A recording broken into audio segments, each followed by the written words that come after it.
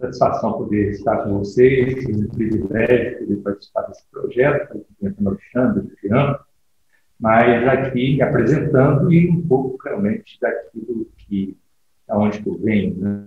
Meu nome é Rubens Otônio Bonite, eu sou de Goiás, nasci em Goianésia, uma cidade média, pequena na época, mas agora da média, no estado de Goiás, é, filho de sitiantes, professor da zona rural, mas que vieram para a cidade logo cedo e acabei já com cinco anos de idade, já estava em Anápolis, que é uma cidade maior, a segunda cidade na economia de Goiás, terceira em população, e em Anápolis eu cresci.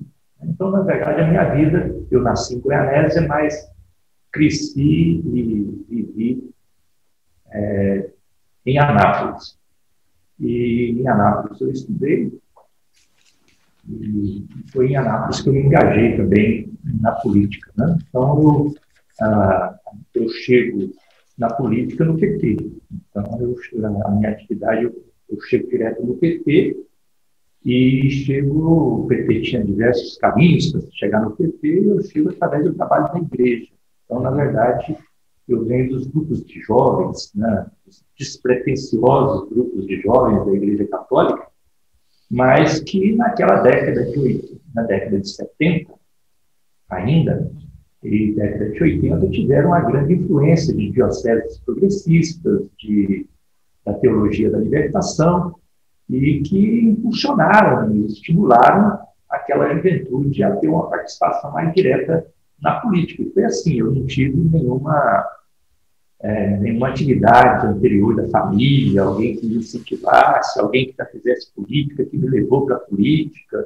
Não, pelo contrário, minha família era avessa à atividade política e foram os grupos de jovens é, e as discussões, o acompanhamento de debates de e leituras, na época não tinha rede social, né? você tinha que fazer, buscar é, leituras, então você acompanhava algumas dioceses, no meu caso era o trabalho da igreja, onde havia uma visão mais progressista, e isso, falando isso para dizer da minha formação, minha formação caminhou para isso. E foi assim que eu acabei chegando à atividade política. Eu nunca imaginava que ia é, participar de atividade política. O meu caminho familiar e de ambiente que eu vivia era totalmente, digamos, avesso à política. Uhum. Mas o trabalho é, de conscientização me encaminhou para o trabalho político. Cheguei ao PT no final da. já no início do PT mesmo, né, participei uhum. do início do PT com essa visão. Eu fui da primeira executiva nacional do PT. Ah, que ótimo. É. Eu tinha a impressão disso, mas não tinha, não, não tinha certeza, né? Ótimo. É. E você um, você estava com que idade assim nessa época, 80? Pois é, eu veja você, é, acho que é importante isso, né? Porque e isso é um privilégio para mim, porque eu tive o privilégio de viver uma experiência única que é essa fundação do PT, né? Um partido que chegou aí com grandes objetivos, com um sonho no coração, nas mentes das pessoas, e tem o privilégio agora de viver ainda né, essa outra parte, inclusive, de poder presenciar o resultado desse trabalho e poder ver a importância do PT ainda, depois de 40 anos, do ponto de vista estratégico, tanto na política nacional quanto na política mundial. Então, isso para mim é um privilégio. Por quê? Porque, na verdade, eu estava dizendo para vocês, eu cheguei na política de maneira, digamos, até despretensiosa, não tinha um, né, um, um anterior que pudesse é, me incentivar ou abrir o caminho. Eu vim através do, do trabalho da igreja, dos grupos de jovens, das comunidades eclesiais de base. Então, dos grupos de jovens, eu fui para as comunidades eclesiais de base, e das, das comunidades eclesiais de base eu cheguei ao PT a partir daquele momento de conscientização, de participação das dioceses mais progressistas, da teologia da libertação, e eu já cheguei na primeira direção nacional do PT como membro da executiva. Eu sou mais novo da primeira uhum. executiva. Na verdade, dessa, eu tenho 65 anos agora. Naquela uhum. época, eu tinha a primeira executiva foi em 1981, foi setembro. O primeiro diretório foi setembro de 81. Vocês aí vão poder uhum. acertar essa data. Mas setembro de 81 eu tinha 25 anos de idade, era menino, né? E naquela direção eu era o, era o mais novo, mais inexperiente, e aquilo ali para mim era uma experiência maravilhosa, não né? uma experiência assim é, única também de poder conviver com aquelas pessoas que às vezes eu, eu só conhecia através do, dos artigos, das reportagens, né? Imagina eu, 25 anos, um menino lá de Goiás, chegar e encontrar um Apolônio de Carvalho. É. E dar de cara com Perseu Abramo. né? Perseu Abramo, como, né? E você, é, você, sem falar de Jacó, Olívio, Lula, né? Então, aquilo ali para mim é uma, foi uma, uma situação maravilhosa, de aprendizagem também.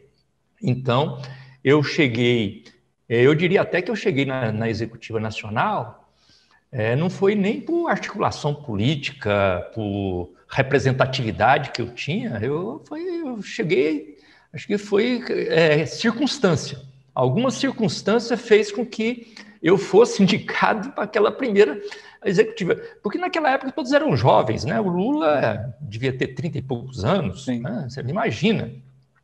Então, mas eu era mais jovem ainda. Então, 24, 25 anos de idade, o mais novo, e naquela época as coisas eram diferentes, não tinha esse negócio que tinha que ter jovem na executiva, não tinha esse negócio que tinha que ter mulher. Na primeira executiva, acho que tinha uma mulher só, né? uma, uma mulher só. Então, a situação diferente, a época era diferente. Então, ter um jovem como eu na executiva era uma coisa raríssima, foi uma coisa raríssima. Acho que foi mais questão regional, enfim, mas é, eu tive essa oportunidade. E essa oportunidade fez com que eu, vivenciando aquele momento único de fundação do Partido dos Trabalhadores, aquilo ali serviu de uma, de uma consciência enorme para mim, de eu entender o momento político, entender a importância do Partido dos Trabalhadores, e aquilo ali me fez, me fez assumir não apenas uma, uma atitude de participar do PT, mas de me comprometer com a organização do PT. Então, a partir daquilo ali, eu, daquela experiência, daquela oportunidade, eu passei a ter o PT como parte da minha vida. E dali eu quero dizer para vocês, dali até hoje, é, eu estou nesse trabalho sem afastar um dia, sem afastar um dia. Quer dizer, são 40 anos, mais de 40 anos ininterruptos. E eu já fiz de tudo um pouco dentro do PT, tive orgulho de participar de muita coisa, direção municipal, estadual, nacional, ser parlamentar estadual, sou deputado federal hoje, mas o que mais me orgulha, o que mais, assim, é, eu faço questão de dizer, e isso me dá satisfação, é de poder ter participado desde hoje, com 65 anos, dos trabalhos de organização e de formação política da nossa militância, dos nossos jovens. Isso que eu vejo mais importante, porque eu sei, porque eu participei também desde o início, eu sei o quanto isso tem valor. É, Rubens, é, aproveitando, né, esse, esse ainda falando bem desse início, né, que você entrou no PT, né, já na executiva, né, como você está dizendo, mas um aspecto interessante que está aparecendo nas entrevistas, né, que a gente está fazendo e que enriquece muito esse projeto, é justamente mostrar a diversidade regional né, da fundação do PT, porque normalmente a gente, né, evidentemente, acaba se falando muito de São Paulo, né, pela expressão do, do próprios metalúrgicos, Lula, etc. Mas eu queria te pedir se você poderia é, falar um pouquinho do clima, esse clima e esse início das articulações em Anápolis, quer dizer, qual que era o clima, com quem que, que você atuava, né? Você já falou que tava, tinha relação com a igreja, etc. Mas como que era o clima em Anápolis, né? Uma cidade pequena, né? Do interior. E em relação à criação do, do Partido dos Trabalhadores, como é que foi esse iníciozinho, digamos assim, dessa, dessa experiência? Ah, é, isso é muito importante. Eu diria, é, além de Anápolis, o estado de Goiás, uhum. porque eu já entrei no trabalho com um desafio que a situação nacional nos impunha que era a situação de trabalhar pela legalização do partido. Uhum. E a legislação, na época, o pessoal fazia uma legislação casuística a cada momento para impedir que o PT pudesse existir. Né? Então, havia uma abertura política para que os partidos se organizassem, mas eles criavam obstáculos para que os partidos não pudessem se organizar, principalmente o PT.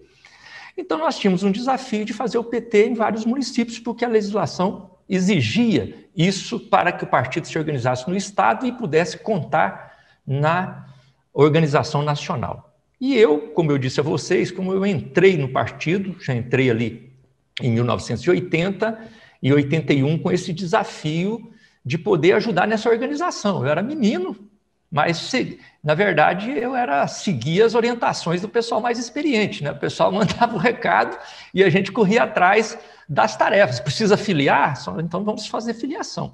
Mas o cenário aqui de Goiás, Anápolis e o cenário de Goiás era um cenário como o de hoje, muito conservador, e onde pouca gente acreditava que o PT pudesse existir como partido político. Né? Pouca gente acreditava. O pessoal ria da gente.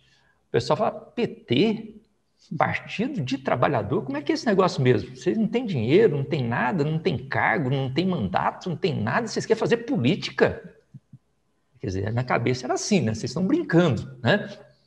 E, era, e, e nos viam assim como uma situação de brincadeira, porque nos grandes centros não. Né? Aí você tinha um movimento sindical, você tinha isso, aquilo, então já tinha uma organização, já tinha uma ação efetiva. No nosso caso, não. Eu era, digamos, eu vim do trabalho da igreja, mas a igreja não estava, é, a igreja não estava é, participando disso. Eu participava de maneira espontânea, como cidadão cidadã, que teve uma formação e optou por esse, por esse caminho. Então, eu estava sozinho. Então, esse trabalho foi muito desafiador, um trabalho muito difícil de poder organizar o partido e muito pouca gente acreditava que nós pudéssemos organizar o partido em Anápolis.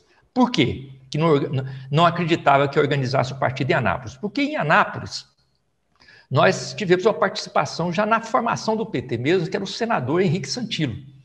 O senador Henrique Santilo foi daquela comissão preparatória, ele está na foto lá de Sion, né, do Colégio Sion, naquela, ele era o secretário de organização é, geral lá do, do PT naquela, naquela atividade. Ele era senador da República. Só que eles entraram no PT e depois, rapidamente, eles saíram, já ainda no início de 81. Né? Não participaram da organização efetiva do partido.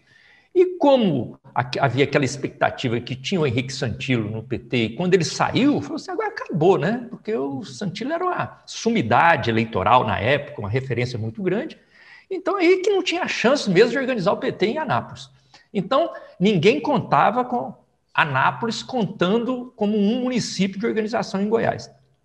E eu fiz um trabalho baseado aonde eu tinha influência, que era nas comunidades eclesiais de base, fui para os grupos de comunidade, conversando com o pessoal e buscando filiação. Foi assim, praticamente em Anápolis o PT nasceu em um bairro, um bairro da periferia, o bairro da periferia da periferia de Anápolis, o bairro de Lourdes. Então lá era um bairro onde não tinha nem não tinha energia elétrica, não tinha ônibus, não tinha nada, e eu morava lá. E e foi com esse, com esse público que nós fizemos o número de filiação necessária para poder atender a, a, a, justiça eleitoral. Mas eu diria mais, nós fizemos isso no estado de Goiás inteiro. O estado de Goiás tinha 244 municípios na época. A legislação exigia que para Goiás se organizar tinha que ter pelo menos 20% dos municípios com diretório. 20% de, de município com diretório significava 49 municípios. Uhum. 49. Se eu achava que nem em Anápolis eu, eu ia dar conta de fazer, era difícil, o pessoal não contava, imagina nas outras cidades. Então, e, e, nós tínhamos pouca mobilidade na época, né? Nós, nosso pessoal não tinha dinheiro, não tinha facilidade, ninguém, pouca gente tinha carro, a gente tinha que andar de ônibus. E naquela época, no, o Goiás, o Goiás de hoje é outro. Naquela época, Tocantins ainda era Goiás. Então, naquela época, quando a gente falava Goiás, o Tocantins estava incluído, até lá no bico do papagaio, até na divisa com o Pará, na divisa com o Maranhão. Né? Então, era muito extenso. 244 municípios, nós tínhamos que fazer pelo menos 49, pelo menos 49, e com detalhe, o, a nossa milita, os dirigentes do PT em Goiás eram totalmente urbanos, intelectuais, pessoal que tinha vindo da luta armada, que vinha da anistia, mas que estava tudo na universidade concentrado em Goiânia. Então não tinha contato nenhum no interior praticamente. Movimento sindical frágil, então não tinha movimento organizado, dependia muito do contato direto. E eu acabei, eu com 25 anos na época, na divisão de tarefas, fiquei responsável de Goiás, de Goiânia, para o norte, isso significava ir até a divisa com o Maranhão e com o Pará, seria a responsabilidade do Rubens Ottoni. Imagina, um partido que dá uma responsabilidade para um menino de 25 anos para ele fazer isso. É, é sinal que não está contando que, que vai acontecer, né? Mas é, aí entra aquilo que eu falei lá atrás. Eu estava assim muito entusiasmado, empolgado e consciente do papel que a gente jogaria na transformação da sociedade. Aliás, a gente tinha uma visão talvez naquele início, muito messiânica, né? uma visão messiânica de que nós íamos rapidamente resolver todos os problemas. Organizando o PT, a gente resolveria os problemas do país. Uma ilusão. E, e eh, os mais novos, então, como eu, que não tinha nenhuma experiência política, talvez tivesse mais iludidos ainda. Mas o fato é que eu assumi essa tarefa. Então, eu de, de Goiânia para o norte era o Rubens Ottoni. E aí era cerca assim de 80 cidades, e onde passaram a tarefa que nós tínhamos, que ali nós tínhamos que fazer pelo menos 20, 25 municípios fazer diretório. Isso significava sair do zero. Chegar no município e falar assim, aqui tem que ter 110 filiações, aqui tem que ter 80 filiações, aqui tem que ter 50 filiações, baseado na tabelinha que o tribunal regional dava para você. E a gente chegava, chegava, eu, eu, eu ia de ônibus. Eu ia de ônibus. Aí descia na cidade, na rodoviária, sem ter um contato sequer, sem conhecer uma viva alma daquela cidade. Fala, pois bem, agora aqui eu vou para onde? Uhum. E aí você marcava um rumo e falava assim: agora eu vou visitar de casa em casa e falar sobre o PT. Imagina um negócio desse. Aí você chegava no lugar e falava assim: ó, ah, o PT, o cara falou, o que, que é isso? P, P o quê? Né? Por quê? Porque o pessoal já estava 10, 20 anos acostumado com o quê? Com o bipartidarismo. Era o, era o PDS, é, né? era, o, era a Arena e o MDB. Né? Arena e o MDB. Então, aquilo ali era o bipartidarismo. Então, se a gente chegava num lugar a gente, isso foi recorrente, né? A gente chegava num lugar, o pessoal falava, mas que é esse PT? O que, que é isso? Aí a gente ia explicar, não, é, nós somos contra o governo, porque isso aqui, a gente começava a fazer um discurso contra o governo, o cara fala assim, ah, entendi, ah, então vocês são do MDB. Não, tem nada a ver com o MDB, MDB também não está com nada, não sei o quê, aí falava mal do MDB, o cara fala assim, ah, então vocês são da Arena. Porque na cabeça do pessoal eu só entendia que só podia ter os dois, era o MDB ou Arena, você tinha que ser um dos dois. Né? Aquele momento era um momento novo. Então, para explicar isso, era uma situação difícil. Agora, imagina para um menino. Né? É, é, claro que hoje, quem tem 25 anos, ninguém admite ser chamado de menino. Né? Mas eu aqui, nos meus 65 anos, eu, eu me dou o direito de falar que eu era menino. Uhum. Mas, era uma, mas foi uma experiência muito fértil. Mas o, o fato é que nós conseguimos. Conseguimos aqui em Goiás nos organizar conseguimos fazer é, os diretórios, precisava ter 49 cidades com diretório, e nós fizemos quantos? 49. No limite do limite do limite. Né? E com detalhe, né? a, a legislação e a justiça eleitoral era tão casuística que eles iam criando obstáculos. Né? O primeiro obstáculo foi esse. Ah, partido para se organizar não pode se organizar apenas em São Paulo, porque sabia que em São Paulo tava, era forte.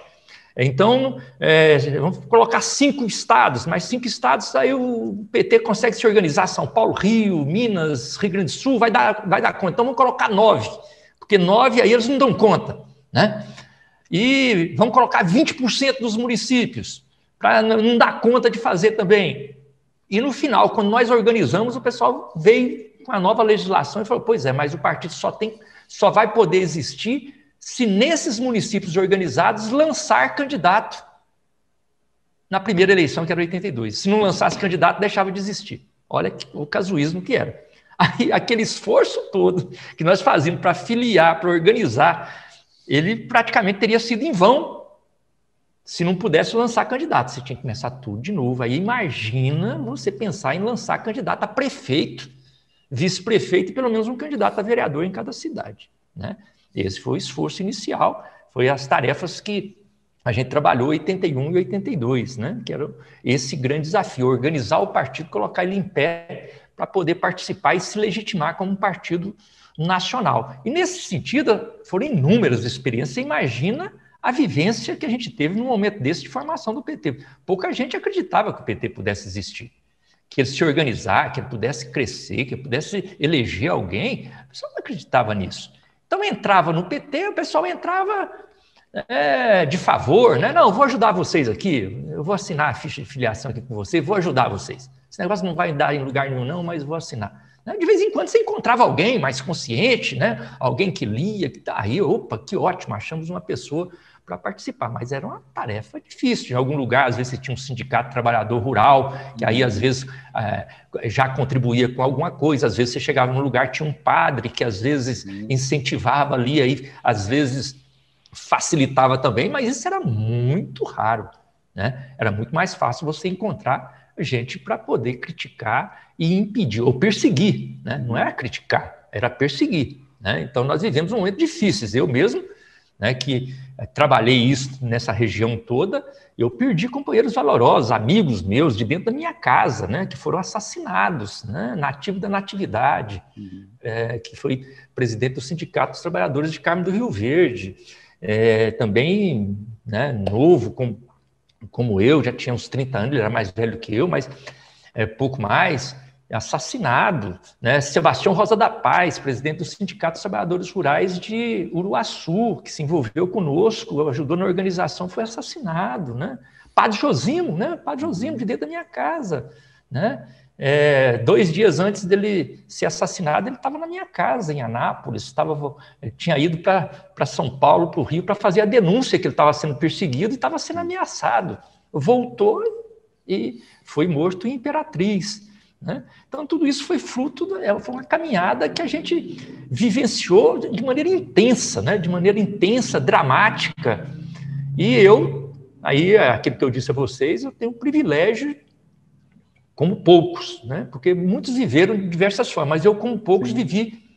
Né? Eu vivi o, o começo, o meio e até agora todos esses momentos de maneira intensa. Deixa eu só te perguntar uma coisa. Você está falando, você estava com 25 anos, então, né? E você estava estudando ainda, estava trabalhando, tava, como é que estava a tua vida pessoal, digamos, fora o partido é, nesse momento, né? Isso. Eu, eu então, eu, eu comecei a estudar, eu, eu tinha uma, a, a minha, a minha vida era ligada ao trabalho da igreja e tinha uma, estudava muito. Então, com 17 anos, eu já tinha entrado na Universidade Federal de Uberlândia para fazer engenharia mecânica. Veja, veja você o que, que é a natureza. Engenharia mecânica, não tinha nada a ver. Mas eu fui para lá e foi lá também que eu comecei, encontrei um pouco da política, porque lá em, em Uberlândia, eu, sem entender muito, porque eu estava com 17 anos ainda, sem entender muito, já tinha gente fazendo movimentação né? política, denunciando a ditadura militar. E eu, como é, quis encontrar um grupo de jovens, aí naquele grupo de jovens que eu busquei lá, porque a minha visão era só de igreja, um grupo de jovens, fui para o grupo de jovens, só que o grupo de jovens lá estava cheio de pessoal que não era, não tinha nada a ver com um grupo de jovens, era o pessoal que estava lá, né, já para fugindo um pouco das, das perseguições. E aí já enturmei para poder participar, mas participar sem entender muita coisa. Então, isso me fez, inclusive, dois anos depois, ter que me afastar da faculdade, porque o pessoal me, me orientou, porque é, tinha seis companheiros nossos, que eu, eu nem entendia direito o que estava acontecendo, mas eles chegaram no final de semana e não voltaram. Não voltaram. É, para Uberlândia e passou uma semana, duas semanas, não voltaram, e depois a gente descobriu que estavam presos, né? E presos em outras cidades. Então o pessoal orientou para que eu não ficasse mais, porque eu, eu nem estava entendendo direito aquilo ali ainda, né? Muito novo, 17, 18 anos. Mas aí eu voltei para Nápoles, voltei para Nápoles obrigado, obrigado por causa dessa situação que me orientaram. E aí em Anápolis me dediquei mais ainda ao trabalho das, das comunidades eclesiais de base e fui fazer direito. Hum. Aí fiz direito, né? E fui trabalhar no comércio. Minha família é uma família que tinha é, que tinha uma situação razoável. Meu pai era comerciante e eu abri um comércio independente para mim. E a partir daí fui me dedicar às comunidades eclesiais de base. Como eu falei para vocês, mudei para um bairro da periferia, da periferia, da periferia, né? bairro de Lourdes, e lá fomos organizar, na, na, na visão nossa, era organizar o povo, imagina, num lugar onde o pessoal não tinha nem condições básicas necessárias de poder viver. Não tinha transporte coletivo, não tinha energia elétrica, não tinha nada. Não tinha escola, nem igreja tinha. A gente fazia reunião nas casas. Mas eu fui para lá, mudei para lá, morava lá, e tinha essa contradição, né? Você virava, você virava até um, né, uma atração turística, né? Porque você imagina, você vivia uma família que razoável, que tinha comércio, fazia direito e vivia lá na periferia, lá fazendo trabalho com o pessoal, um negócio difícil de entender, principalmente na realidade de Goiás e de Anápolis. Então esse foi o, o, digamos, o ambiente que eu vivenciava e eu tirava tempo no meio de tudo isso para fazer esse trabalho de organização. Imagina, para poder pegar o ônibus, viajar, né, ir para o interior, fazer filiação, trazer, aprender, porque a gente não sabia fazer nada disso, né? ninguém sabia, nem os mais experientes sabiam mexer com justiça eleitoral, eu menos ainda. Uhum. Então, foi um desafio muito grande nesse início.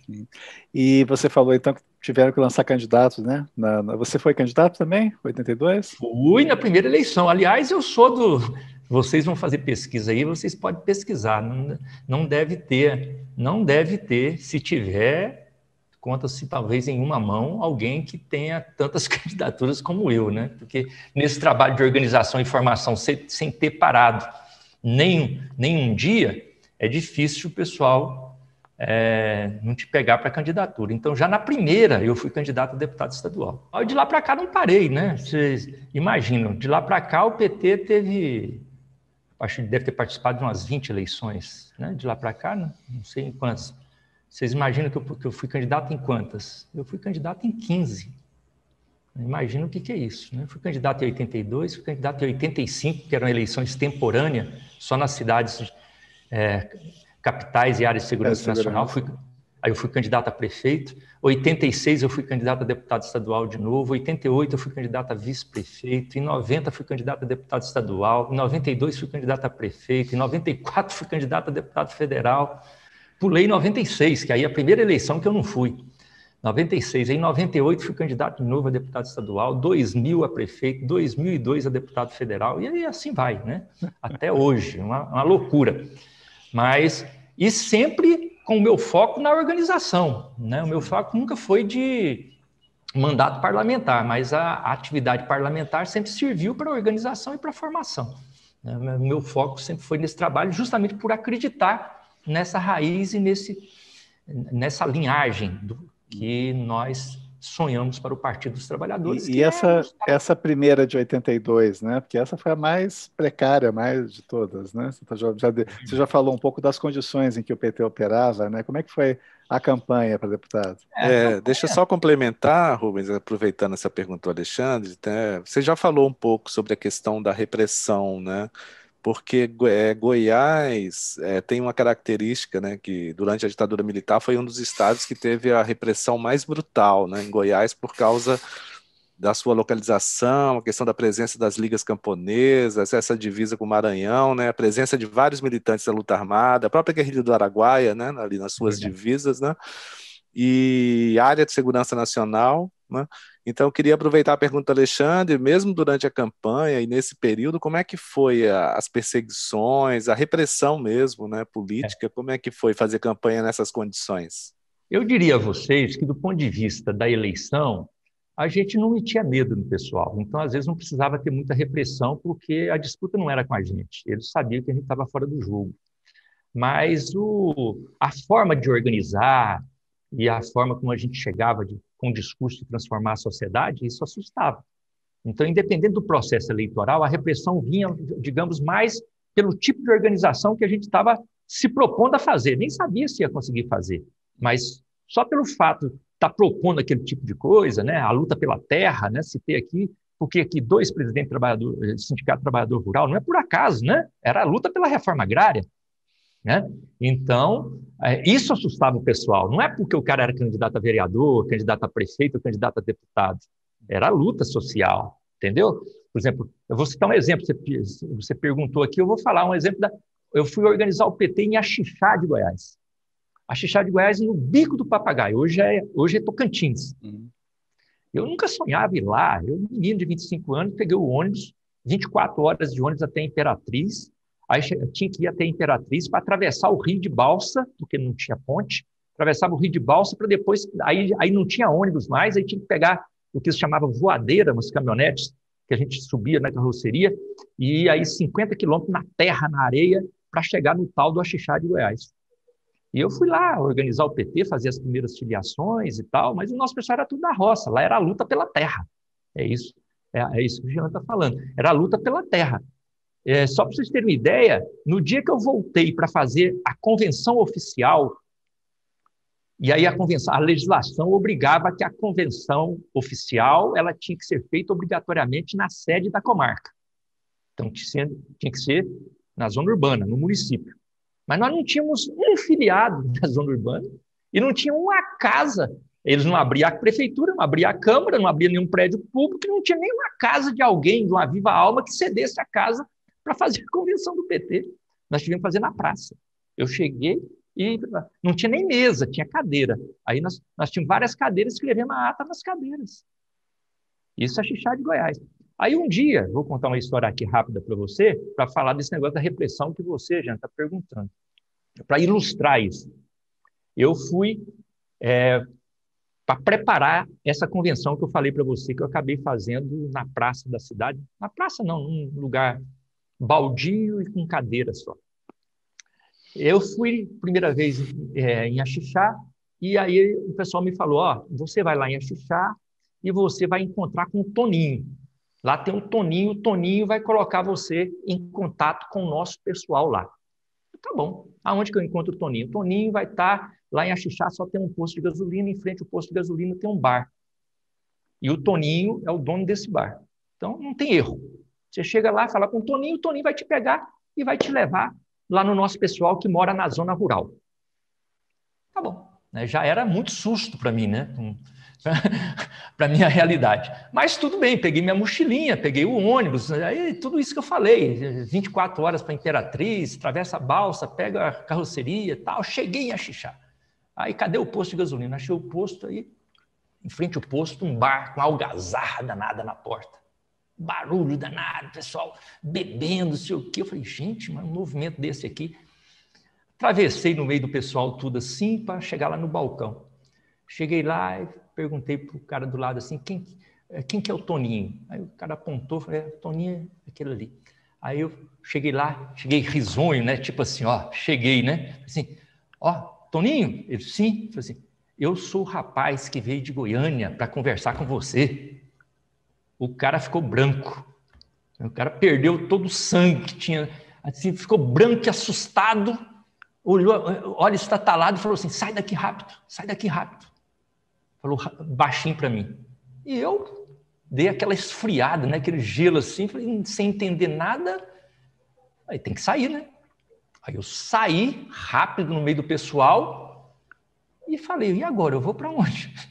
Eu só vim aqui para falar com o Toninho, não conheço mais ninguém.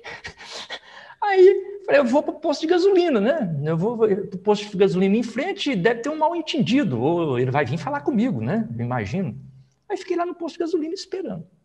Aí passou meia hora, passou uma hora, passaram duas horas e nada. Eu falei, esse Toninho, ele não entendeu direito o negócio que eu falei. Eu vou ter que ir lá falar para ele de novo. Aí eu atravessei no meio do pessoal e fui lá.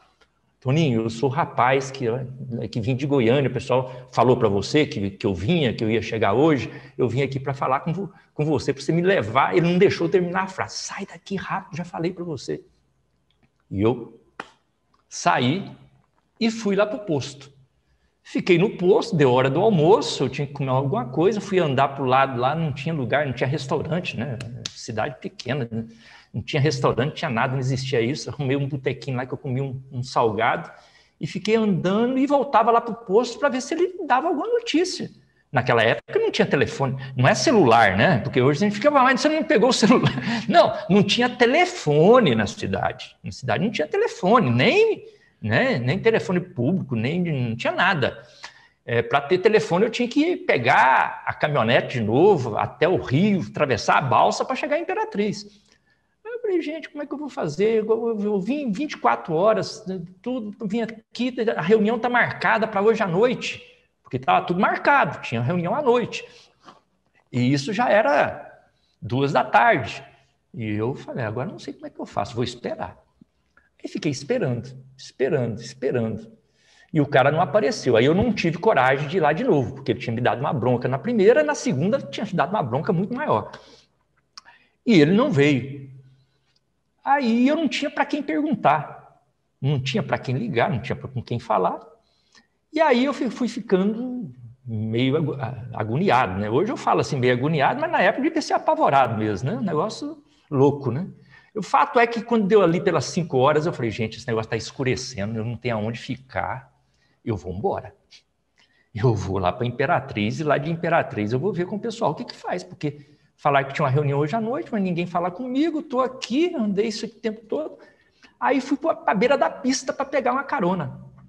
Eu tenho que pegar uma carona aqui, pegar a primeira caminhonete que tiver aqui para Imperatriz para enfrentar isso, paciência, vou perder. E naquela visão assim de frustração total. Eu estava na beira da rodovia assim para pegar a caminhoneta, aí estou andando, andando, aí chega um cara de bicicleta. Para a bicicleta do meu lado, falou assim: Você que veio de Goiânia? Aí eu olhei para o cara assim e falei assim: Sou. Falei, vem comigo eu vim te buscar. Aí eu não sabia se eu achava bom ou se eu, ou se achava ruim, né? Porque eu não sabia, eu não tinha, não era assim que tinha combinado. Agora um cara para a beira da, da pista, você vem comigo? Aí eu falei, gente, aí, mas tudo bem, né? Aí ele desceu da bicicleta, empurrando a bicicleta, e começou a conversar comigo. Falou, o pessoal está nos esperando, está nos esperando para a reunião de hoje à noite. Aí eu fiquei mais aliviado, porque aí eu vi que era o que eu estava, a missão que eu tinha vindo cumprir. Aí eu fiquei aliviado, falei, ah, que bom, mas aí eu falei, pois é, mas o pessoal falou para mim, eu já, eu já fiquei contrariado, né? já quis dar uma bronca né, na minha inexperiência. Ah, me falaram falar com o Toninho, cheguei lá, o Toninho tá nem aí, o, cara chegou, me deu uma bronca lá. Eu falei, não, Calma, não é assim. O problema é que aquele pessoal que estava lá na porta são todos é, de grupo, é, de, são, é, a palavra que eles usavam, são jagunços. São todos jagunços junto com a polícia daqui. E eles estão lá à procura do nosso pessoal, porque teve um conflito, teve um confronto nessa semana passada e dois deles morreram. Então, eles estão caçando o nosso pessoal. Então, eles estão lá bebendo e esperando para encontrar o nosso pessoal. Quer dizer, por isso que o Toninho estava desesperado de eu não ficar lá e eu sair logo, porque era o que eles queriam. Né? Era pegar alguém que levasse eles aonde o pessoal estava. Veja que situação, né? E a minha experiência total, né? Na boa vontade e na inocência de quem está fazendo o PT com ficha de filiação, achando que esse que era o problema. Então, respondendo ao Jean, o problema do eleitoral, organizar o partido, isso não mexia. Agora, mexer com a terra, aí mexia. Aí eles me levaram, nós andamos mais de duas horas, aí já estava de noite, no meio da mata, esse cara conhecia né, os trieiros da mata, e eu ia atrás dele, até chegar num lugar assim que foi clareando, clareando, aí tinha uma clareira no meio da mata, eles abriram um espaço onde o pessoal se encontrava. Era o espaço da reunião. Quando nós chegamos lá, tinha umas 100 pessoas. Umas 100 pessoas reunidas. E umas 100 pessoas reunidas assim como esperando o Messias, como se estivesse esperando alguém que viesse resolver o problema deles. Eles que estavam oprimidos por aquela realidade ali, então ia chegar alguém de fora que vinha trazer a solução do problema deles, desse jeito. Né? E era eu. Imagina. Né? Logo eu. Então, e aí eles contaram, né, uma reunião dramática, eles contando a realidade, contaram o caso dos conflitos que estava tendo e do que tinha o conflito armado que tinha tido há uma semana atrás, onde, é, felizmente, ninguém de nós tinha se ferido e eles tinham matado dois dos jagunços da, do pessoal do outro lado. E que por isso eles estavam fugidos, estavam ali. E queria saber que boa nova que eu trazia, né? E é claro que eu não trazia boa nova nenhuma, né? A não ser falar que vamos organizar o PT, que o PT vai resolver esse problema para vocês, né? Imagina, né? Enfim, aí eu falei, eu conversei, né, aquilo que a gente podia conversar, o que, era o PT, o PT para isso, transformar a sociedade, uma política diferente, tá, tá, né, aquela conversa que a gente tinha é, real, né, verdadeira, de fazer uma política diferente é, daquilo que estava acostumado a, a ser feita, uma política séria, honesta, de transformação da sociedade, uma sociedade fraterna, tudo isso. Conversamos naquele dia ali, nós filiamos mais de 50 pessoas. O pessoal já tinha ido preparado, então aquilo que falaram estava organizado mesmo. O pessoal já tinha ido com os títulos de eleitor, e eu fiquei a noite inteira ali fazendo ficha de filiação. Né? Claro, na, na, na lamparina, né? ali na lamparina, fazendo ficha de filiação e tal, e o pessoal preocupado se alguém podia vir, né? aquele negócio todo. Enfim, quando terminou lá para meia-noite de fazer ficha de filiação, o pessoal tinha arrumado um lugar para mim, para mim dormir. Na árvore mais alta que tinha no lugar, eles arrumaram uma rede para mim, na árvore mais alta, porque era o lugar mais seguro, né, para me proteger, porque podia ter algum problema e me colocar nessa rede e colocar uma carabina do meu lado, assim, falando assim, se o senhor precisar, tá aqui para o senhor se defender. Eu, eu não sabia nem, nem por onde começar, né? Então, só para assim, né, ilustrar a realidade como era a, o conflito entre das realidades. Uma coisa era organizar o partido, outra coisa era a luta, que era muito mais forte do que a organização do partido, que, que o partido queria expressar. Né? Então, uma situação dramática que nós vivemos. Poderia contar aqui inúmeras histórias com vocês assim, porque, como eu disse a vocês, eu não vivi uma, uma experiência no partido burocrática, eu vivi no chão de fábrica, como se, se diz, é ali no dia a dia, participando da realidade do povo.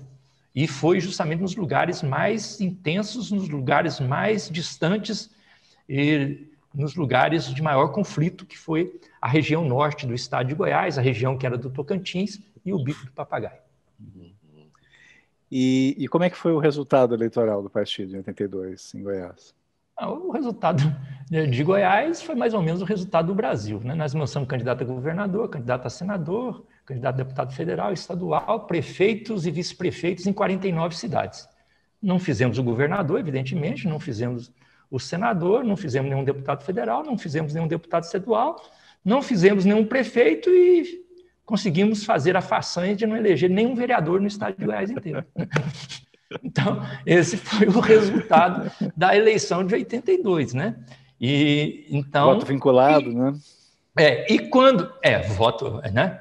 É, e quando terminou a eleição e apurou e nós não elegemos nenhum vereador, o pessoal falava o quê? Aquele pessoal que falava para a gente lá, falava, não, é isso aí, PT, Partido Trabalhador, não tem dinheiro, não tem estudo, não tem cargo, não tem mandato, isso não vai lugar nenhum. Aí esse pessoal falou o quê para nós? Tá vendo? Não falei que esse negócio não ia, não ia dar em nada? Agora acabou, agora morreu, não elegeu nenhum vereador, morreu. E foi exatamente aí que o PT começou a existir, no meu entendimento. Foi exatamente aí que o PT começou a existir, porque o PT provou que ele tinha vindo para ser diferente. Porque se ele tivesse vindo para ser um partido, para disputar a eleição, ele tinha morrido ali. Tinha morrido ali, claro. Mas ali ele mostrou que não tinha vindo só para disputar a eleição. Disputar a eleição fazia parte. Né? Mas não era só para isso. Era para organizar o povo. Era para conscientizar. É para fortalecer as lutas. E foi aí que começou, no meu entendimento, o verdadeiro trabalho do Partido dos Trabalhadores. E a partir daí, nós começamos a ter condição de dialogar mais ainda com as pessoas. Aquilo que parecia que poderia desanimar, e desanimou muita gente, porque com esse resultado, muita gente que pensava só no eleitoral caiu fora, né, desanimou, mas quem ficou teve condição de fazer o, o verdadeiro trabalho de base, o trabalho de formação, o trabalho de organização das lutas populares. E aí, em 85, você já, em Anápolis teve eleição por causa da área de segurança, né?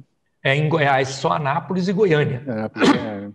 Anápolis e Goiânia. Goiânia capital e Anápolis, Anápolis, área de segurança nacional. Nós tínhamos tido em 84 uma eleição extemporânea que foi em Caldas Novas, que não era área de segurança, mas era instância hidromineral. Uhum. E aí tinha eleição, é, também era, não podia ter prefeito. Aí é, ganhou o direito de, de, eleger prefeito, aí nós participamos da eleição. Isso foi em 84, mas 85 foi Anápolis e Goiânia. E nós tivemos uma participação maravilhosa, bonita, uma participação. Foi o primeiro. Em 82 já tinha tido programa de, de televisão, só que o programa de televisão em 82 a gente não falava, só só aparecia os slides, né? Aparecia o nome, a foto, aquele negócio todo mas não falava. Agora, no 85, não, foi o primeiro programa de televisão onde você podia interagir, você podia falar. E nós aqui em Goiás, nós criamos um, um amigo nosso, foi muito criativo, isso ficou como experiência para o Brasil inteiro. Na primeira, nessa primeira de 85, ele criou um, um quadro chamado Cadeira de Barbeiro. E esse quadro, Cadeira de Barbeiro, era o quê? Era o, um barbeiro, era um artista um humorista que sabia trabalhar bem a empatia no vídeo, e esse artista fazia a barba do candidato, do candidato. Né? No caso, eu era o candidato de Anápolis e em Goiânia era o Darcy Acorce. E ele conversava, ia conversando. E aí, como é que está a política aí? Ah, está precisando mudar a educação, o que, que a gente faz, qual que é a proposta? Enfim, e aí criou um quadro assim que caiu na graça da população. E virou uma coisa fantástica. Em Goiânia nós ganhamos a eleição com Darcy Acorce. Né? Tá na história do PT aí a fraude que houve com, com fotos, com urnas é, violadas, toda uma história aí faz parte da história do PT, com a presença do Lula que foi para lá para denunciar carreata na cidade, um negócio fantástico. Mas independente do resultado eleitoral, nós tivemos uma empatia muito grande com Goiás, porque aí tinha duas televisões, a de Goiânia e a de Anápolis, cada televisão falava para metade do estado. E isso levou uma mensagem muito positiva do PT, uma mensagem leve, uma mensagem alegre, positiva, e isso, digamos, deixou bem o PT na fita. O PT saiu da eleição de 85 numa situação, digamos assim, é, muito positiva em Goiás. Aí a gente deu um salto de qualidade no diálogo com a população. Mas nas lutas sociais nós estávamos assim muito apertados. Né? Nessa eleição de 85 nós perdemos o, o, o nativo da natividade e perdemos o, o padre Josino. Né? Então é, foi nessa né, nesse contexto foram assassinados. Então a luta estava intensa, do, do ponto de vista eleitoral a gente atingiu a empatia na população, mas a luta pela terra nós tínhamos em Goiás a coordenação da UDR. Uhum. A UDR, que é, tinha focos em todo o Brasil, a partir dos grandes produtores, ela era coordenada a partir de Goiás. E tinha como coordenador o Ronaldo Caiado, que hoje é governador do estado de Goiás, foi depois candidato a presidente da República né? representando a UDR e, e, com um programa de televisão feito em cima de um cavalo branco. Né? Isso é Goiás, só para vocês verem a dificuldade que a gente enfrentava aqui. Né? Então, o conflito era muito grande com a terra, e isso foi intenso, e isso nos deixava muito pressionados, né? muito pressionados. É, bom, você já, já deu um panorama das, das, das, disputas eleitorais que você participou, né? Talvez, talvez não seja o caso de uma a uma, né? Mas pensar, porque você falou em 85 já é um salto de qualidade, aí em 88 novamente o PT cresce bastante, né? Quer dizer, um crescimento ainda maior, né? Não sei como é que foi, eu sei Goiânia, né? Mas não sei como é que foi o quadro do estado todo aí, né? É, é, verdade, é, mas desse ponto de vista aí do, do eleitoral, só um, um registro, porque as pessoas às vezes participam dos processos eleitorais sempre motivadas para ter mandato e sempre na visão mais é, eleitoral. Eu participei praticamente de todos os processos, a grande maioria dos processos eleitorais, mas sempre com a visão de formação e de construção do partido. Então, sempre para ajudar o partido. Nunca foi com aquela visão de, de fazer carreira na, na atividade parlamentar. Então eu estava sempre à disposição do partido para poder ajudar, levar a mensagem, para poder puxar o carro. Né? E, e, foi assim que a gente foi construindo. Só para você ter uma ideia, a primeira eleição de 82, eu falei, eu fui o mais votado do PT para deputado estadual, mas o PT não elegeu ninguém, não deu quociente, então eu não me elegi. Se elegesse um, era eu. Uhum. Aí quando chegou em 86, o PT elegeu dois deputados em 86. Só que aí eu fui o terceiro. Então eu já não fui o primeiro, fui o terceiro. Elegeu dois, mas eu fui o terceiro. Então eu fiquei com o primeiro suplente. Quando chegou em 90, o PT não elegeu dois, elegeu três. Só que aí eu fui o quarto. Imagina. Né? Então, só para vocês entenderem, quer dizer, é a maneira. Da, é, esse é o partido. A gente trabalha para organizar e isso nunca me desanimou, porque o objetivo não era o eleitoral. O objetivo era o partido crescer e estava elegendo pessoas, é, isso estava me contemplando no sentido de poder fortalecer o partido. Né? E aí o partido, o partido em Goiás, ele cresceu. Né? Em 86 a gente disputou eleição para governo, depois em 88 a gente conseguiu fazer a primeira leva de vereadores, né, de vereadores em, em Goiás. E o PT em Goiás nunca foi um, um, partido de linha de frente do PT nacional, por causa da situação conservadora do Estado. Mas o PT de Goiás nunca deixou de participar e de dar a sua contribuição. Nós sempre tivemos a nossa participação mediana. Como eu disse para vocês, em 86 já conseguimos fazer dois deputados estaduais, em, 80, em 90 conseguimos fazer três deputados estaduais, em 94 nós já conseguimos eleger deputado federal, elegemos um deputado federal, o companheiro Pedro Wilson, nessa eleição de 94. Eu fui, aí eu não fui candidato estadual, fui candidato a federal. Né? E fiquei também, elegeu um, eu fiquei em segundo para federal, mais uma, né? né? E aí, em 98, eu fui candidato a, a deputado estadual, fui eleito deputado estadual, uhum. e a partir daí fui eleito deputado estadual, depois fui eleito deputado federal e estou no meu quinto mandato de deputado federal. E o PT nunca faltou nessa organização, sempre como um uhum. partido mediano na, na organização partidária nacional, mas sempre presente dando a sua contribuição. Uh, e, e desse, bom, é, já na experiência como parlamentar, né, é, qual, qual foi, o que, que tu destacaria assim da tua, da tua atuação, das pautas, né, da, da, da, da digamos assim, da identidade da tua, do teu, dos teus mandatos parlamentares? Ora, um registro que eu faço, que eu, que eu faria aqui também, né, se me perdi, permite nesse histórico, é que nesse caminhar, o 88, no meu entendimento, ele foi muito importante para nós, porque foi um início das experiências do PT em nível nacional. E a partir da, dos prefeitos eleitos em 88 e dos vereadores eleitos em 88, nós começamos aí aquilo que se, a, a elaborar aquilo que ficou registrado como modo petista de governar. Né? Então, essas experiências que foram feitas, gestadas em vários municípios, é, seja no legislativo, seja no executivo, passou a ser uma referência do modo de atuação do PT. Né? Eu falo isso para dizer que a minha atuação também ela primou um pouco de seguir essa orientação e esse histórico, né? fazer um mandato participativo, essa é uma marca muito importante eu aqui, como, quando é, me tornei deputado estadual, eu, eu em, 90, em 90, eu falei para vocês, eu fui, fiquei como primeiro suplente. É, elegemos três e eu fui o quarto. Só que o Darcy era deputado estadual, ele foi eleito prefeito de Goiânia em 92. E ao ser eleito prefeito de Goiânia em 92, eu, que era primeiro suplente, passei a ser deputado estadual.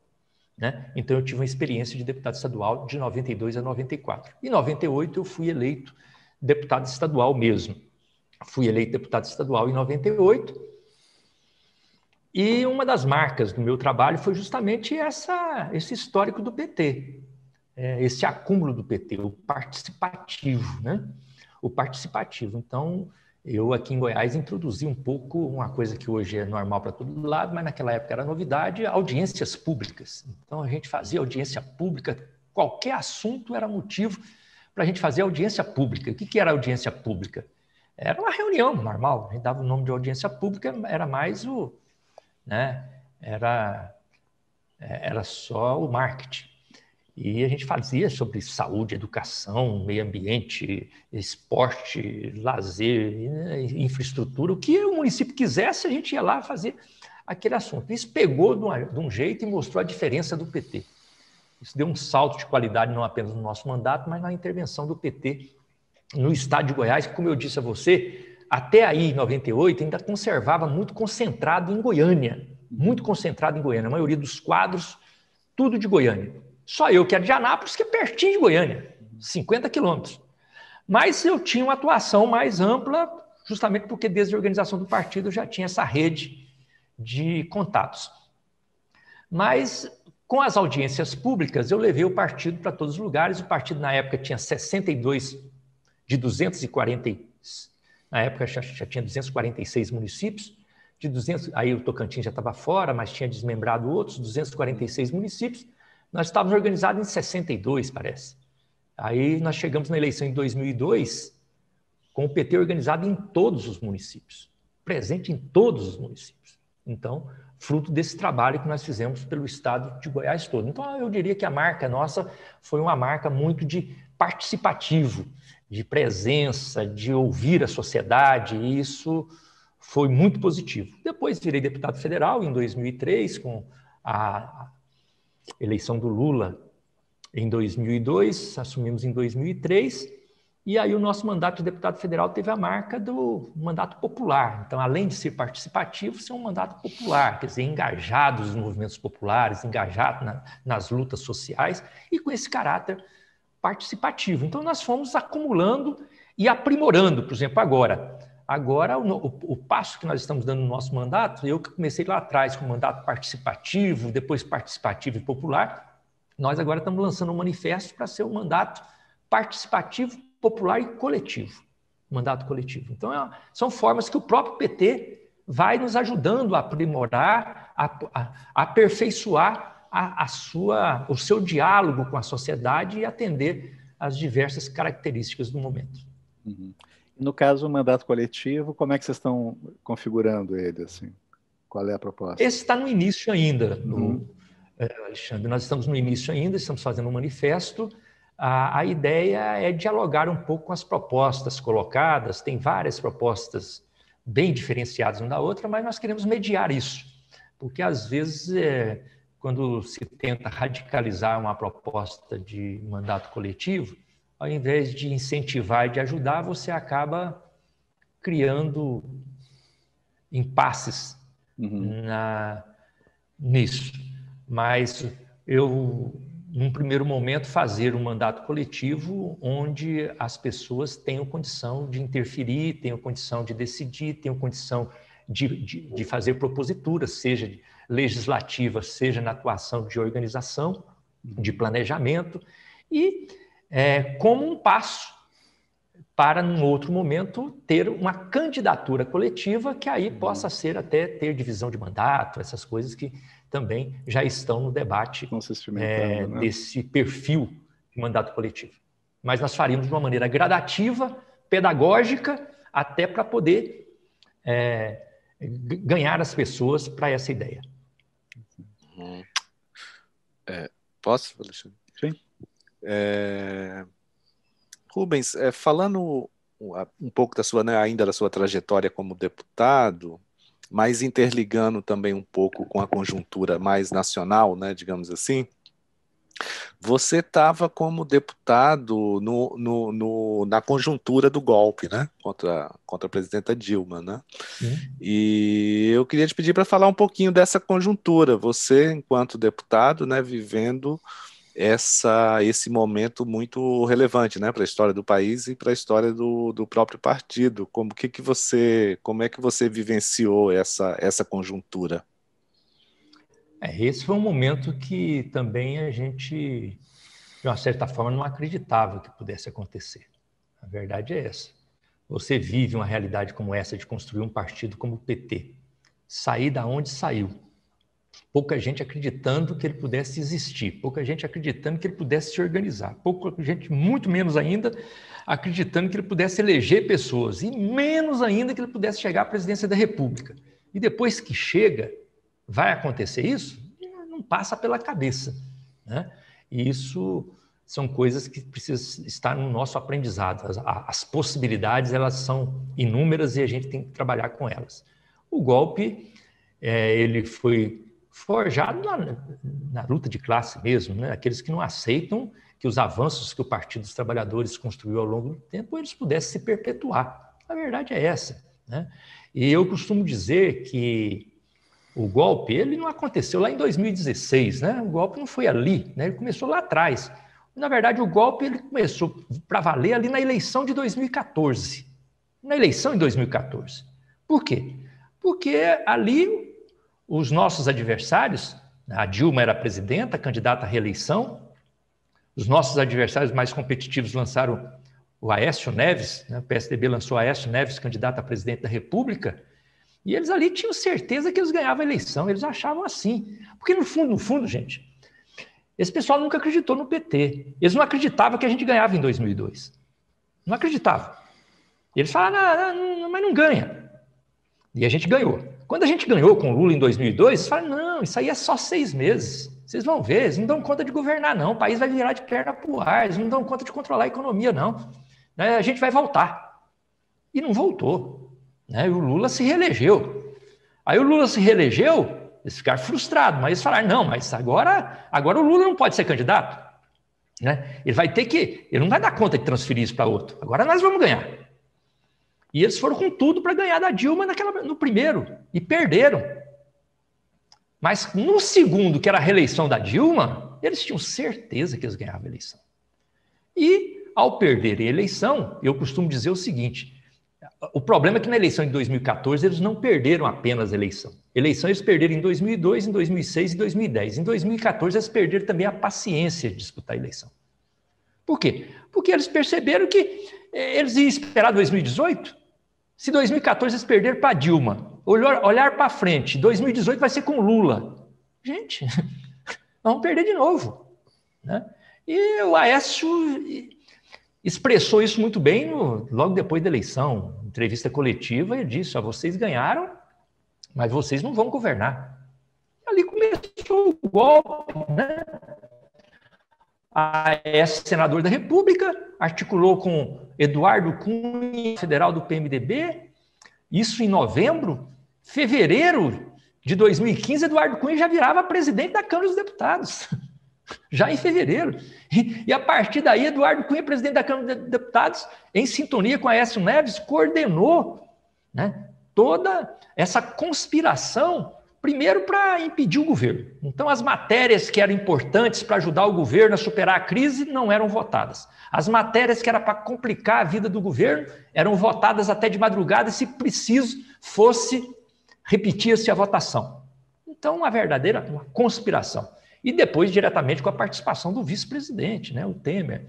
Então, é um golpe assim que surgiu, e a, a, minha, a minha avaliação é que é, nasceu de, desse desespero dos nossos adversários, desespero de classe mesmo, de perceber que o PT estava se, é, se afirmando cada vez mais como referência na política e controlando a política nacional e tendo esse poderio eleitoral para poder continuar governando o Brasil, e sobrou a eles essa conspiração e o golpe. Né?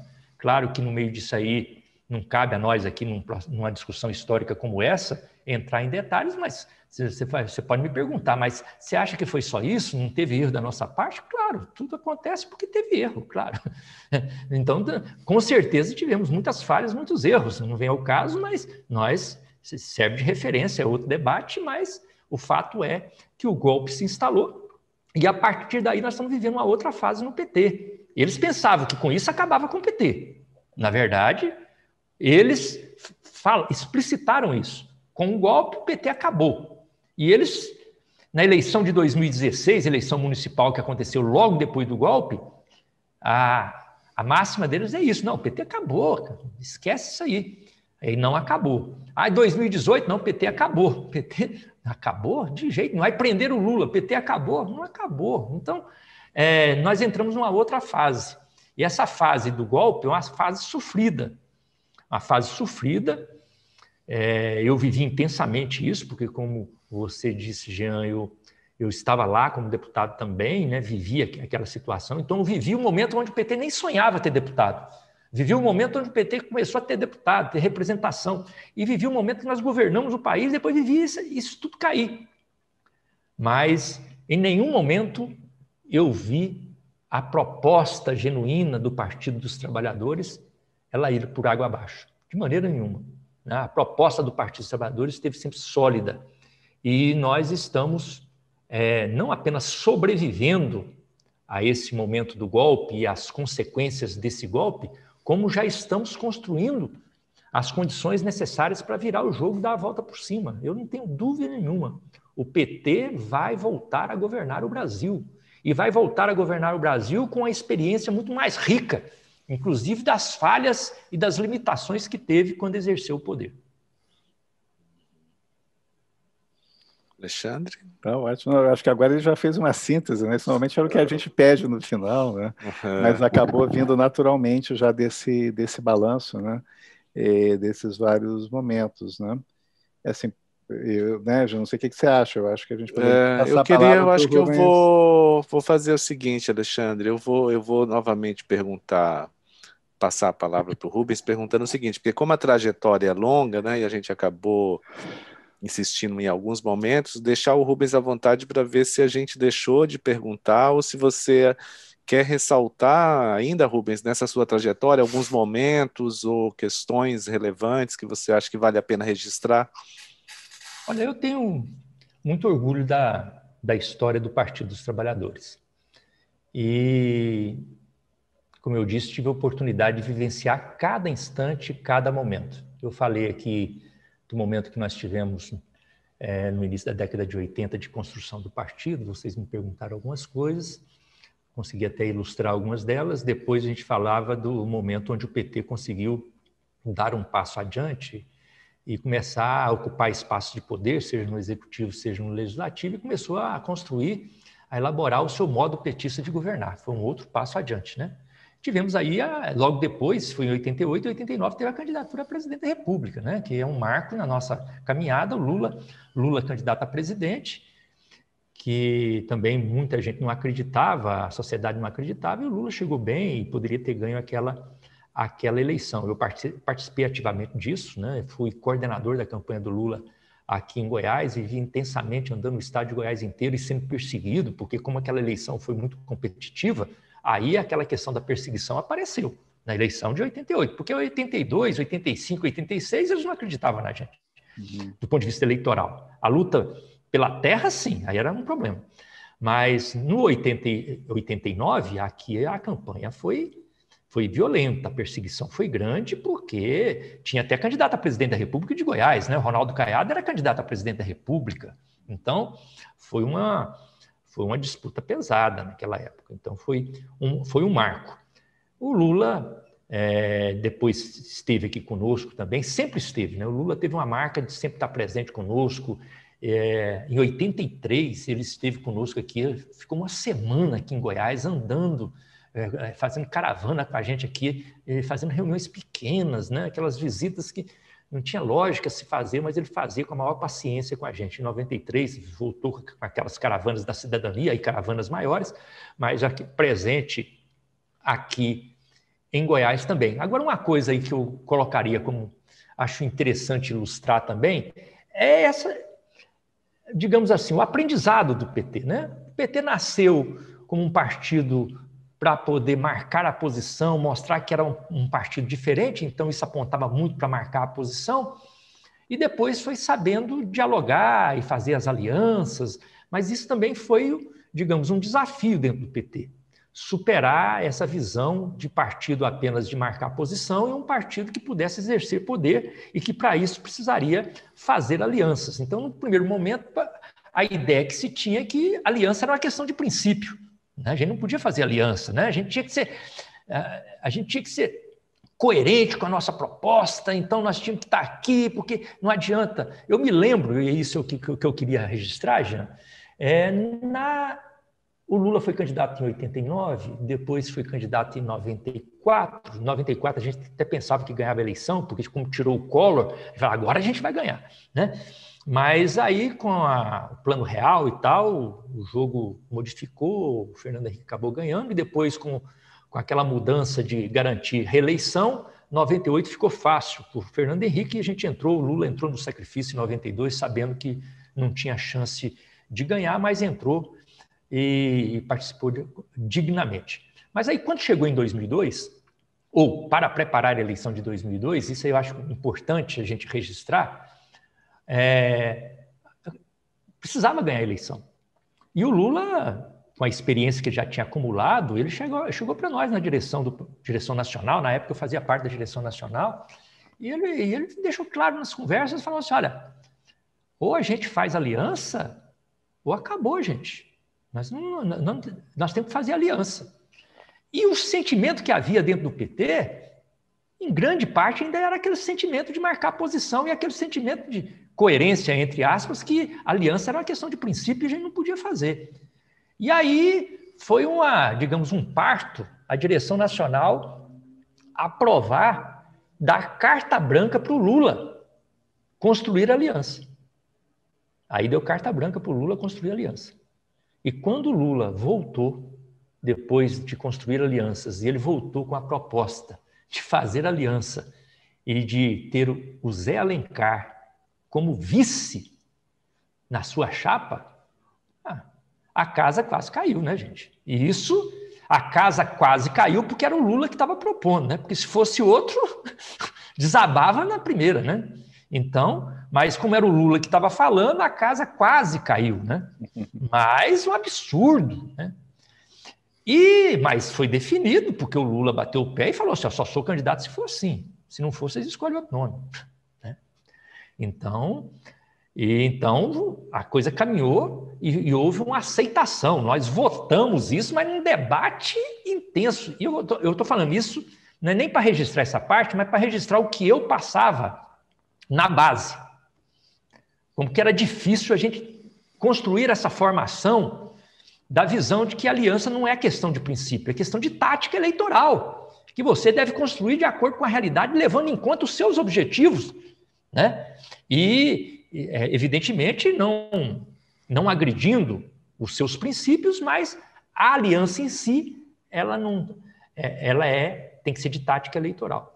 Mas eu cansei de ouvir eu cansei de ouvir nos encontros, nas plenárias do PT, nas reuniões que eu fazia, a pessoa vinha, porque se fosse o Lula, ele não questionava, né? Mas como era eu, o cara, é um absurdo, como é que faz uma aliança dessa, esse empresário assim? Aí a gente falava que era para ganhar a eleição e tal, aí o cara virava e falava assim: não, se for para ganhar desse jeito, é melhor perder. Isso aí eu via assim, se fazia 10 reuniões, você ouvia 11 vezes. Né? Então, todas as reuniões tinha alguém para falar: não, se for para ganhar assim, é preferível perder. Aí eu pergunto agora para o pessoal, né, depois, você fala assim: agora eu pergunto para vocês, depois que nós ganhamos, que o Lula foi presidente, vocês acham que era preferível ter perdido ou, ou foi bom ter ganho? Ah, não, foi até bom. Não, foi bom, foi importante. Pois é. Né? Eu estou falando isso para ver como que o processo de formação, como eu falei para vocês que eu fui muito engajado no processo de organização e de formação, ele é um processo lento. E a gente tem que ter muita paciência nesse processo para ir ganhando. Mas, ao mesmo tempo, a gente não pode ser omisso. A gente não pode ser aquela visão basista de ficar só aceitando é, do jeito que estão falando, sem a direção tem a obrigação também de dar a linha, de dar o, dar o rumo, é claro, a partir daquilo que é construído de maneira coletiva. Então, eu registraria isso também como um momento muito importante na nossa trajetória, que foi esse momento onde o PT foi capaz de dar esse salto e de buscar uma aliança que possibilitasse a ele governar o Brasil. Então, acho que esse é um registro que eu acho importante. É, excelente. Uhum. Tá ótimo. Bom, tá Rubens, é, eu acho que você, em geral, a gente pede uh, para as pessoas falarem um pouco também dos desafios da conjuntura atual, do momento você já entrou um pouco nisso, né? Se você quiser complementar, assim, já como um encerramento, né? É, quiser falar mais alguma coisa e tal, senão acho que a gente já tem... E, falar um pouco... É, Desculpa, só queria, só queria antes, antes de passar também destacar assim que a parte da, da inicial da construção do partido, assim, eu acho que foi um dos relatos mais mais detalhados, mais vívidos que a gente teve até agora. Foi, eu acho que vai ser fantástico poder é. né, disponibilizar isso para quem não viveu aquele momento, né? E, tanto para Você Vocês me permitiriam né? eu contar um, um, outro um outro fato? Claro, claro. É, Fique à vontade. Que, até porque eu omiti, acabei, é, nem lembrei dele, mas eu sempre conto ele nas minhas formações, nas minhas reuniões, porque eu acho ele muito emblemático da história do PT.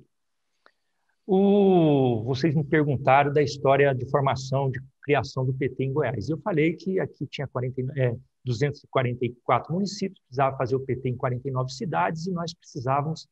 Aí nós organizamos o PT nas 49 cidades e depois a legislação mudou no sentido que era obrigado a ter candidatura nas 49 cidades, senão o partido caía. Então a gente teve que voltar nessas 49 cidades para tentar lançar candidato, que só fosse só na ata né? só para firmar eleitoralmente para poder garantir o registro do partido no Estado e o registro nacional. Isso era fundamental. E aqui em Goiás tem uma cidade chamada Minasul. Essa cidade, Minasul, ela está a cerca de quase 500 quilômetros da capital. E na época desses 500 quilômetros tinha 120 de terra. É, digamos, era uma aventura você pensar em ir em Minasul. E ela estava na região qual? Na região que o Rubens Ottoni era responsável de, de coordenar. E essa cidade era uma das 49. E ela tinha que lançar candidato. E eu fui para Minas Sul, é, fui de carro, num Fusca, para poder ir lá e buscar a ata, já trazer a ata pronta com os candidatos registrados para poder Minas Sul contar entre os 49 candidatos. Eu fui lá. Quando eu cheguei lá na cidade de Minasul, fazer a reunião lá na casa do nosso presidente, que seria naturalmente o candidato a prefeito, já estava mais ou menos conversado, tinha chegado uma notificação para ele que a filiação dele não tinha sido indeferida. A perseguição lá, sei lá, ou se tinha algum fato, nem me lembro mais o que, mas o fato é que ele não era filiado, então ele não poderia ser candidato. E isso eu tinha chegado lá só para buscar ata, sete horas da noite, e eu ia voltar à noite ainda, esses 500 quilômetros de carro, para chegar no outro dia cedo em Goiânia, para entregar isso na secretaria. Era só pegar a ata e voltar.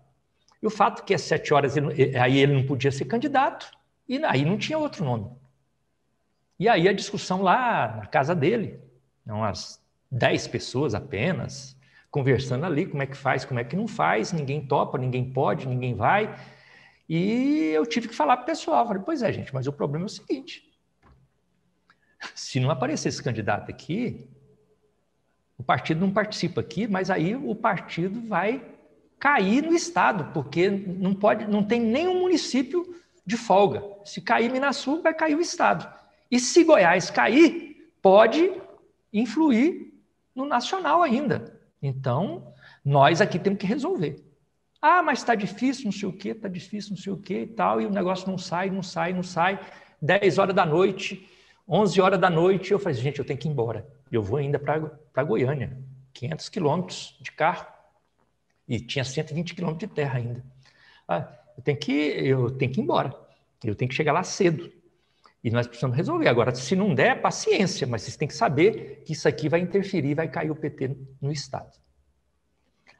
Isso nós estávamos na casa do senhor Manel, que era o presidente do partido e deveria ser o candidato a prefeito. A mulher dele estava na cozinha, dona Terezinha. Ela estava na cozinha assistindo a reunião, tinha feito café, aquele negócio todo. Ela chegou na sala, chegou lá, eu estou ouvindo a conversa de vocês, é o seguinte, esse negócio aí que vocês estão falando, de dar o nome aí, não pode ser mulher, não?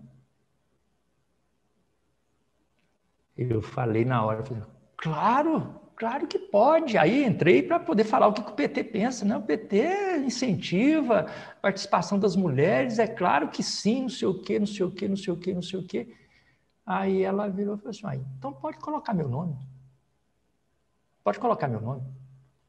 Ali, dez e meia da noite, salvou o PT, não de Minasul, mas o PT de Goiás. Nós fizemos a ata correndo, com a dona Né? E ninguém nem tinha pensado no nome dela, nem eu. Né? Ninguém tinha perguntado para ninguém. Né? Mas ela, mas mulher não pode, não? Né? Veja como que era a dificuldade da época. Hoje ainda é difícil para as mulheres né? a participação, a inserção nos espaços de poder. Mas naquela época mais ainda, mesmo dentro do PT. Eu falava aqui que o primeiro executivo do PT, não, se não me engano, era só uma mulher. Mas aí a dona Terezinha, para mim, ela virou um símbolo. Ela virou um símbolo por ser mulher e por ser alguém que se dispôs a ajudar o partido como militante. Esse é o símbolo que ela fez. Ela foi candidata a prefeita. O PT, ela teve sete votos. Sete votos apenas. Né? Nem os do filia, dos filiados do PT. Lá na cidade, para se organizar, precisava ter 60 filiados. Então tinha 60 filiados, ela teve sete votos. Mas ela ajudou a organizar o PT em Goiás. Ela participou da história de organização do PT no Brasil. Eu queria registrar isso aqui porque é o registro da militância do PT. Isso faz a diferença. Muito bom, Rubens. Tá ótimo. Eu creio que, a não ser que você queira, você gostaria não, de fazer um não, encerramento? Não. Ah, sim, eu desculpa. Eu é, não Rubens, vou perguntar. É, não. Rubens, você quer fazer uma fala assim para de encerramento, só para concluir? Não, não, não. Eu estou aqui muito feliz de estar com vocês, né? Honrado, né? É, honrado de ter sido convidado, mas assim também honrado de de o universo me possibilitar isso aqui, né? De viver todas essas fases, porque não é pouca coisa. Como eu disse no início, eu com a idade que eu tinha, né, sendo aí o mais jovem naquela época, numa executiva nacional, onde tinha Lula, tinha Olívio, tinha Jacó, onde tinha sumidades como Perseu Abramo, como Apolônio de Carvalho, poder. Né, para mim era demais encontrar com eles, né? Imagina poder participar de reuniões e ouvir o debate sobre, o, naquela época, o debate de partido tático, partido estratégico, se é partido de massa, se é partido de quadro. Eu mal entendi o que, que aquele povo estava falando e que, que acontecia ali, né? Eu, na verdade, eu me engajei na prática de organização do partido. Então, ali, aquilo ali serviu para mim como uma fonte para poder me impulsionar e comprar essa briga, né? comprar essa história de poder me dedicar, porque aí eu não apenas participei, mas eu me dediquei de corpo, alma, de coração a esse projeto que eu acreditei e que eu acredito, porque é o que eu disse a vocês. Eu não tenho dúvida que nós vamos voltar a governar o Brasil e com muito mais experiência, com a experiência das, dos nossos acertos e com a experiência dos nossos erros. E vamos fazer mais ainda pelo nosso Brasil. Tá, excelente. Rubens, excelente. muito, muitíssimo obrigado, né? Assim, excelente depoimento e, e parabéns pela, pela sua atuação, pela determinação, né? Em, continuar lutando, atuando, né? E é isso, vamos encerrar então. Fica registrado aqui para os acervos do PT. O pessoal da Fundação depois vai entrar em contato contigo, assim que eles tiverem editado, para passar tanto uma versão integral, cortando só aquele trechinho que a gente teve uma interrupção, né? e também eles selecionam algum trecho, provavelmente algum desses episódios, né, especialmente aí do início do, do, da trajetória do, da construção do partido que você mencionou, para fazer uma, uma divulgação maior, né, de um, de um vídeo mais curto que sempre acaba tendo mais audiência, né? Alexandre, aí, fale. Você me permite ainda, vou aqui abusar da boa vontade de vocês, mas mais por curiosidade também para vocês, mas que pode ser um registro interessante também eu contei para vocês o caso lá de Axixá de Goiás, né?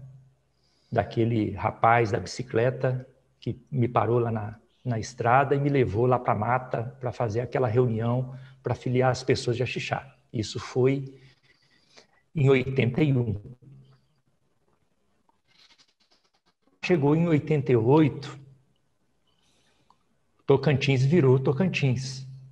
Então aí desmembrou de Goiás, eu nunca mais mexi com Tocantins, ia lá de vez em quando, o pessoal me chamava para alguma palestra, eu ia lá de vez em quando, tinha amigos, mas nunca tarefa do partido era em Goiás. Aí eu virei deputado estadual em 90, na década de 90, na, depois em 2002 eu virei deputado federal.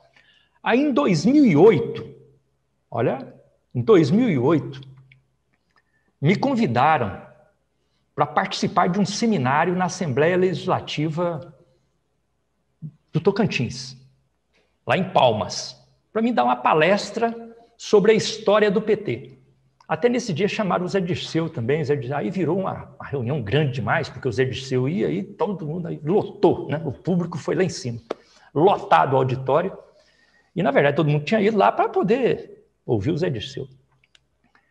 E aí eles me pediram para. Aí eu falei: Ó, oh, gente, eu vou ser rápido aqui porque todo mundo está querendo ouvir o Zé Dirceu.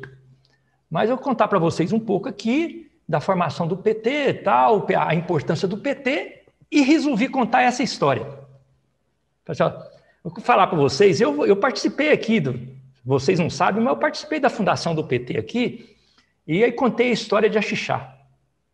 Contei a história de Axixá, o pessoal ficou assim,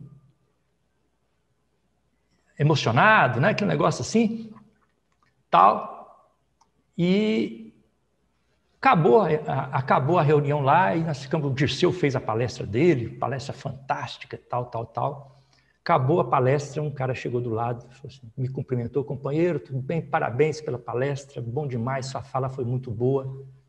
Eu sou aquele rapaz da bicicleta. Que te buscou.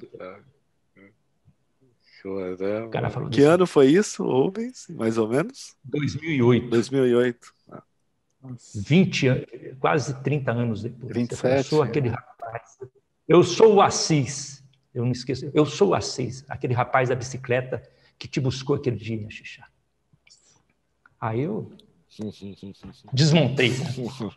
Eu desmontei e ele falou assim: Eu fui prefeito aqui na cidade, ao lado aqui e tal já não era mais, mas ele já tinha sido inclusive prefeito. Imagina. Isso aí é que emociona a gente e dá o sentido de toda essa caminhada.